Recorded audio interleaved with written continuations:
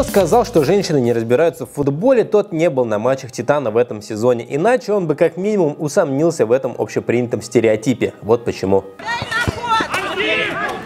Дай на ход! Давай, давай, давай, давай, давай, давай! Давай, давай, давай! Эта дама гнала вперед футболистов нашего клуба весь матч, то подсказывала, то просто громко выражала свои эмоции. Игра с Долгопрудным, несмотря на не самую громкую вывеску, получилась для Титана тяжелой. Соперники решили проверить в деле футболистов из первой команды, выступающей дивизионом выше. Спустили сразу 8 человек. Но какая команда профессиональная, какая любительская, в первом тайме понять было трудно. Свою возможность забить гол гости упустили. Посодействовал им в этом вратарь Титана, отбив мяч после удара практически в упор. У ворот соперника такой остроты не возникало. Несколько полумоментов превратить в опасные не получилось у Франца Чебелевского. Кстати, о том, что он находится на поле, знали почти все. Что ты выключаешь? Чепелевский!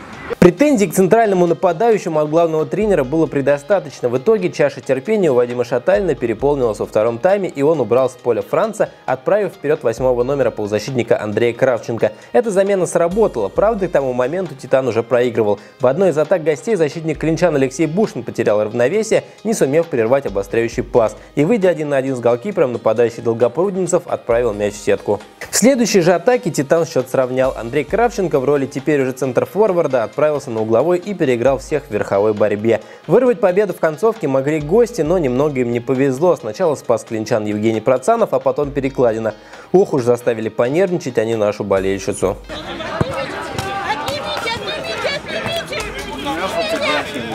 Но в итоге финальный свисток зафиксировал счет 1-1. Ну, команда была хорошая, спустились с профессиональной команды несколько игроков. Ох, они забили, мы отыгрались, не дожали. Не- хватило, не знаю, то ли везения, то ли фарта какого-то, я не могу не сказать. Ничья жизнь Титану не подпортила. В борьбе за тройку ситуация не сильно изменилась. У нас 45 очков, у Люберец 48. Три игры до конца сезона и у тех, и у других. Последний матч мне нравится игра команды. Вот, и со Скопой мы сыграли очень достойно, скажем так, тоже равная игра была где-то, не повезло нам. Вот, сегодня равная игра, я считаю, что тоже где-то повезло, где-то им не повезло, где-то нам не повезло. В целом, еще раз говорю, что игра была неплохая. Перед этим мы две игры выиграли, поэтому вот именно концовку мы проводим достаточно неплохо. Не скажу, что там у нас чемпионская игра. Вот, нет, но тем не менее, более-менее сейчас, по крайней мере, стабильность есть, и я считаю, что показывает неплохой результат. Но вот многих болельщиков скорее интересует вопрос не итогового места, а будущего команды на следующий сезон. Ходит слух, что в скором времени клуб изменит свое название. На сто процентов, я думаю, никто не знает.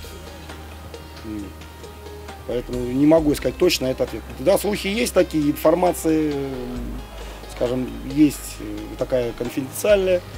Вот, но я как тренер команды, я пока готовлюсь работать в этой команде. Опять же, как она будет называться, Титан, там, ФК Клин, там, как-то еще. Вот. Не знаю, наша задача подготовить команду, чтобы она заняла достойный результат. Следующий свой матч клинский коллектив проведет на выезде против некогда грозной Истры, потом отправится в гости к лидеру Олимпику и закроет сезон 24 октября на своем поле матчем с Коломенским Старсом.